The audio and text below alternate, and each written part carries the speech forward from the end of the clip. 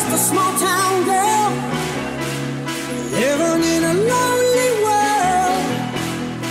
She took the midnight train going anywhere. Just a city boy, born and raised in South Detroit. He took the midnight train going. A singer in a smoky room. a smell of wine and cheap perfume.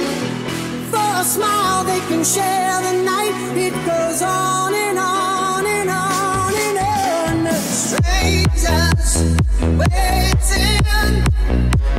Walking down the boulevard, their shadows searching in the night.